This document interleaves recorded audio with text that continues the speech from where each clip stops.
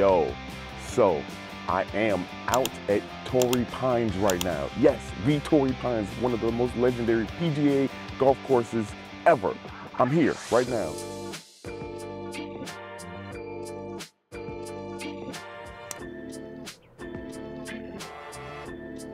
I'm staying at the lodge at Torrey Pines, which this course is just absolutely gorgeous. Like I can't describe to you what it feels like. As a sports fan, if you are a golf fan, this is just amazing to be here. So I'm highly excited to be here. I'm here with Black People Outside, which is an amazing group, couple, just like me and Sarah from my podcast.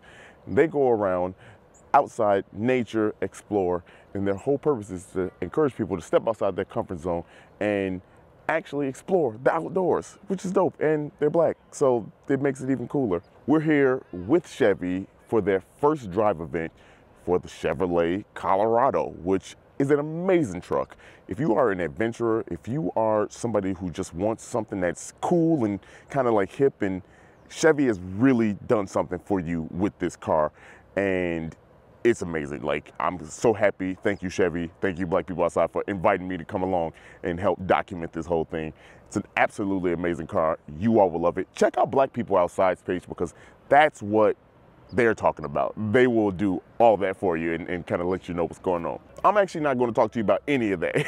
so what I'm actually going to talk to you about is the Canon 28 to 70 millimeter uh, zoom lens, which in my opinion is my personal favorite lens. I just absolutely love this thing. It is one that stays on my camera body at all times, unless I need something with a wider focal length. Uh, I absolutely love this thing. You all will love this thing, and that's what I hope to do here uh, as you see people walking by me getting their tea time on right now.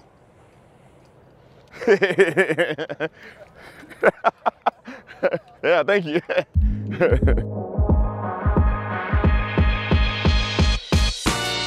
All right, y'all, so I'm out here, uh, like I said, with Sheppy and Cam. While we do talk about Chevy, again, Mhm. go follow their page. They'll talk about that. Black people outside. Yeah, Black People Outside, go follow them. Um, but we inside RI, REI. Yes, this is your first time here. First time here in REI. And uh, they got mountain food, y'all. Like, I didn't even know that was a thing. We're about to pick out some mountain Look at this. Dew. Look at the mountain food right here. Yeah, like like some of this shit lit. I ain't gonna lie. Yeah. I ain't We're even about gonna. to pick out some a couple things. Gonna find a can't- Harold's. It's gonna be- it's gonna be Come three, on. Three piece. A three piece. All, you, all you gotta do is run some water over it. Look, look at this. This one is uh three bean chili mac. This I definitely want this one. I think I'm This gonna try one. the chicken Alfredo pasta. Lord have mercy. Chicken Alfredo pasta. You see? You see? Home style chicken and rice. Oh, yo! I think I'm gonna do that. Yo! So these Yo. are called these are called peak something, and then Mountain Meals has their well they have a we got we got people out here. If y'all not following black people outside, because like they got me being a black person outside right now. This is this is exactly what they want. This is not just for black people though. This for everybody. This for everybody. This is for everybody. This for everybody. This for everybody. Yeah. Yeah. the whole thing. And then we needed to get some butane fuel for our camp stove. Ooh, you see? Yeah. You see? Yeah. And you just add water. You heat up the water and you add it and eat it. Oh, and we need Yeah. some utensils to eat with. Ah, look at y'all thinking everything. See, I'd be down bad even with my fingers like I do anyway. So they were telling me though, which makes sense. Um, you actually need to get for TSA. You have to get the ones that are not serrated. I So mean, that it's not pointy. Yeah, not it pointy, be serrated, right. but it can't be pointy like oh, that can be blunt. I bet. Yeah, it can't be like really Can be. Look at that. Can be. pointy like this. a It little too sharp, like so you gotta be soft. Yeah, it's gotta be soft. butter Gotta be a weak ass knife. You gotta have one of them. You can't be out. Can't be out here. So there's just a few things that I absolutely love about this camera lens, and there's a few things that that I wish would change. Not that I don't want to say that I don't like, but there's just a few things that I would absolutely like change if I could about this lens. But first, the good. The first thing is this is a 28 to 70 f2 lens, and if you don't know what any of that stuff means, let me tell you. f2 is the aperture. It's a very fast aperture. And the, what makes this lens so special is that at a 28 to 70 focal length, for it to be an f2 aperture is absolutely insane. I don't think there's been a lens quite like it in this range, you know, wide and long type of lens. I don't think there's anything done like that. this gives you absolutely some of the best pictures ever. And let me say this, let me say this, because I was like kind of critical of the, I had the RF uh, 50 millimeter, which is a 1.8 aperture.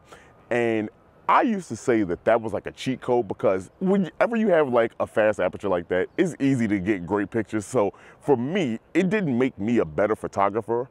It didn't absolutely at all make me a better photographer. And so I kind of said that was a crutch. So I kind of shied away from the f1.8 or anything like that that was super fast. But this one kind of changes the rules. Once I realized how to use the f4s, f5s, and higher apertures, you know, eh, I really understood like what a camera could do. The f2 aperture did scare me this time. I absolutely had to check it out. When I tell you game changer when it comes to what this lens can do and the product that you get from it, I, I, think I'm underselling it. The f2 aperture is super fast, gives you that nice bokeh, blurry effect whenever you want it.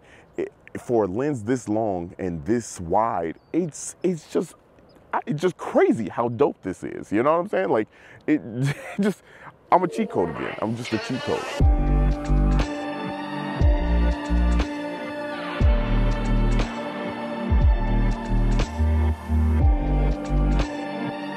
Right now, uh, we are about to shoot our little, one of our promos for the Chevrolet Colorado. This thing is gorgeous. Look at the color. Look at the color. Like, so we got this nice little drone shot we're gonna do. Got that over there. Gotta do a continuous shot is what I'm planning on doing here uh, for them. But it's like now it's starting to warm up. These mountains are like kind of chilly. I didn't I didn't expect that's why I'm wearing Cam's jacket. Your boy tried to be a Southside Chicago and ooh, you know, out here in the goddamn mountains. Nobody give them. Anyway, yeah, Show did. Chevy did. Chevy gave me a list. Hey, look, do, do, this. I even had a free sweater from Chevy. Like Chevrolet. There's Chevy and there's a Chevrolet. Yeah, whatever. And one thing I will say is you don't need to shoot at an f2 all the time. And that's what I learned with the 50 millimeter lens f1. I didn't need to shoot it 1.8 all the time. I don't have to shoot at 2.0 all the time. You can actually shoot at a different aperture and still get great results, you know, and, and that's what I learned. And that's what this lens kind of encourages me to do because all the way up to, I would say maybe like an f8 aperture, you get tack sharp imaging from this lens and it's, it's just amazing. So if you like this lens, if you pick up this lens, don't be afraid, or any lens, honestly, to kind of work with what you have and use different apertures, give yourself some different results. This lens in particular does it fantastically. And like, honestly, I cannot stress enough how great this lens is at that. Thing number two that I really like about this lens is that this lens at a 28 to 70, the reason why it stays in my bag is because it has that range. Now, most people will probably say, you know, I need the 24, the extra four millimeters gives me just a little bit length, a little bit more length and wider uh, range. But honestly, you don't really miss that extra four millimeters. I at least I don't. I don't miss it. You know what I mean? Like I don't miss it at all. I'd rather exchange that for that tack sharp image. You know what I mean? Like it's just a standout feature. So for me, having something that is both a wide and a long focal length and for me to not have to change anything is just amazing. And here's why that matters, right? So I'm a photographer. So as a photographer, you don't want to keep switching lenses when you're on a job. And this lens right here allows me to kind of keep one lens on and not have to switch. Now, if I do want something that's a little bit wider, of course, I will switch if I have to. I have a 1635 EF because RF still expensive but I have it in my bag as like a backup, 70 to 200, you got that. Uh, so there's still a place for the other ones, but this for the most part really covers a lot of different lenses. Like I said, I had the 50, which is an f1.8. This is an f2 at the same aperture, you know, at the same focal length. Not that big of a difference, one stop difference, not bad. I kept it, I keep it, I love it. Just so incredibly dope. All right, right now we are in, uh, what is this? Cleveland Forest? Cleveland, Cle Cleveland National Forest. And uh, this shot is absolutely insane. Absolutely insane. Like, check it out. This is crazy. Look at back there. Glacier. Yeah. The sun is actually going crazy. Uh, here is uh, the Great Blizzard of San Diego, right here, Southern California. The Great Blizzard. Look at that. There's the Great Blizzard. There it is. Very blizzardy here.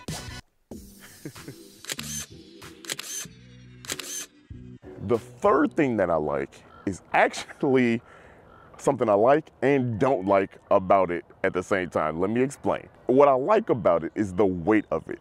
This thing is a monster. I don't, I don't want to shortchange that at all. This is absolutely one of the largest lenses that I've ever owned, and most people in this focal range, I, I, I should disclaim, will ever have. It's heavy. It's like three pounds. So when you add this to a camera, you're looking at five, six, seven pounds just in the camera body and lens. But I like it. It feels good in my hand. Like, I don't know, it just feels really good to have something that's a little bit bulkier. It makes me feel like a photographer. I don't know. It just, I, I like it. You know, so I just like it. I don't know.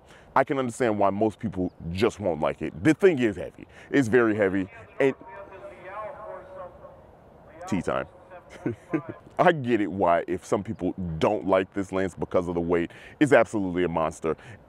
Risks, long shoots, carrying it around in the bag, it can be exhausting. I can't tell you how many times that I've been on a shoot and I actually had to like just set that down and just leave it alone. It, it could be a bit of a challenge. The second thing that I don't like about it, but again, I kind of understand the price.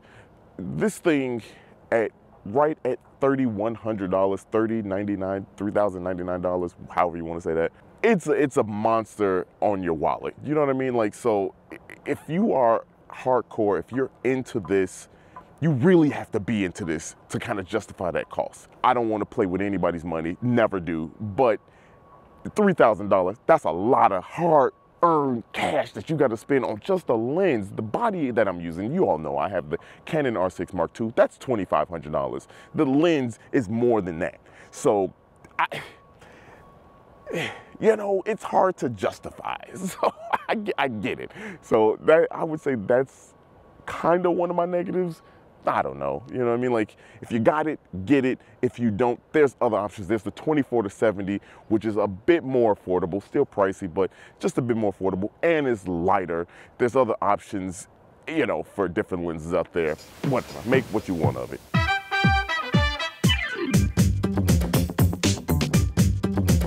I can't even say that I don't hike. I can't say I don't because I've been hiking like the last three years. so, yeah. And just chill. Yeah. Like only, only Chevrolet could have got me to do this and black people outside. That combo, you can't say no to. You really can't. Those are my pluses and minuses of this lens. I mean, I'm out here, I'm shooting footage. The footage has been fantastic. The field looks great. This lens is the whole reason for it. I mean, this whole experience has been fantastic. Thank you, Chevy, for allowing me to capture some dope footage of the new Chevy Colorado. Absolutely of a monster of a truck. I love it. Uh, I, if I had it, I would definitely get one. So if y'all want to send one over to your boy, hey, I'm not mad at you either. But shout out to Torrey Pines, the Lodge at Torrey Pines. Thank you for having us and Chevy and Black People Outside for bringing me along. This has been one hell of an experience. If you really like this lens, please grab it. I would encourage, if you can get it, get it. It's great. That's my two cents on it. You can make what you want of it.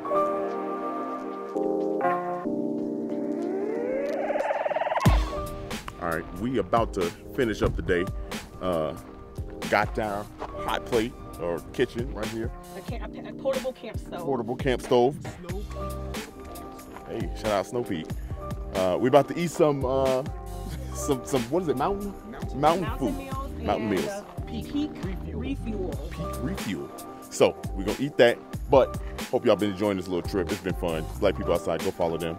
Um, this camera lens is fire. This Colorado is absolutely a monster, really. A monster. Smooth ride, fast, um, huge tires. I don't know. I don't know what to talk about like a truck. I don't know. It's, it's dope. Shout out to Chevrolet for letting us drive it. Peace. And finally, some good vibes. If nobody told you, I'm gonna tell you, I love you. Y'all, keep on, stay on your grind, man. Just be happy, enjoy life, man. Don't forget whatever is going on. I love you. Somebody out there loves you, man. Just keep smiling, keep working hard, do what you gotta do. I love you. Until next time, I will see you. Peace.